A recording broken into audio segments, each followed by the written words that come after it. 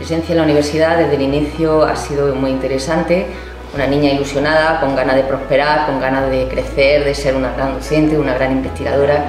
Pero bueno, eh, hace mucho tiempo, ya hace 30 años que estoy en la universidad y he visto evolución. Yo empecé con becas predoctorales investigando, recién acabada una carrera, empezando la otra.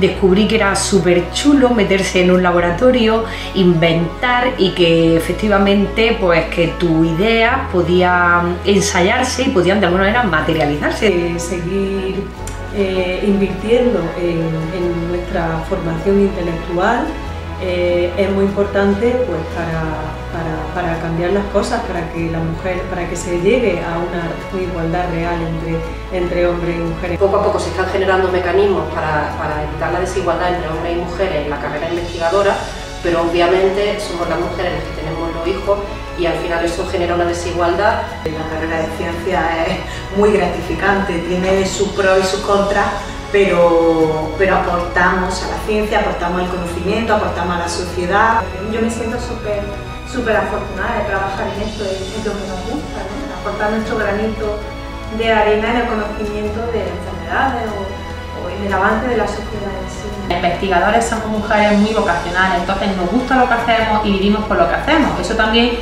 nos condiciona de que demos más, ¿no? Si no hace falta que demos más, pues ahí estamos dando más, aunque tengamos una serie de desventajas. Es muy importante que la parte masculina de la sociedad se implique en hacerle ver a las chicas que somos capaces de conseguir lo que queramos y que nos ayuden y que nos apoyen y yo creo que eso es también un apoyo muy importante.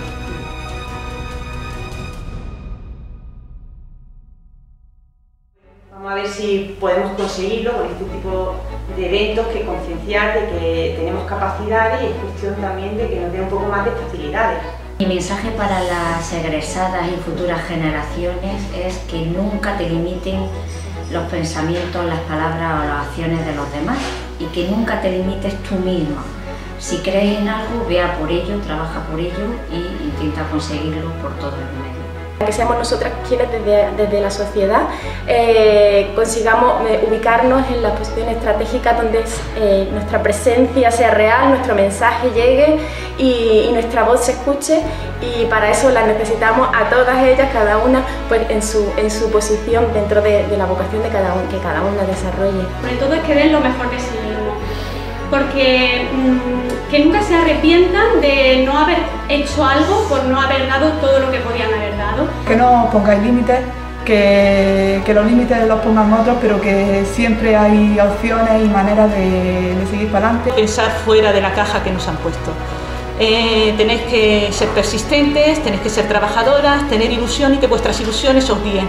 No dejar que las ilusiones de otros se antepongan y simplemente con trabajo, ilusión y perseverancia se consigue todo en esta vida. Quería animaros a que sigamos luchando por nuestro sueño, por nuestra vocación, hasta que consigamos hacer cambiar las estadísticas.